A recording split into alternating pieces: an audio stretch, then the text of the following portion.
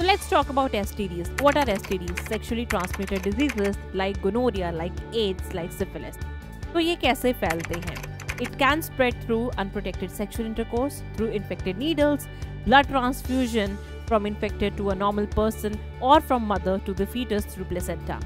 तो इससे कैसे आप प्रिवेंशन पा सकते हो या कैसे रोक सकते हो first of all by using the protection और barrier method of contraception like condoms during sexual intercourse.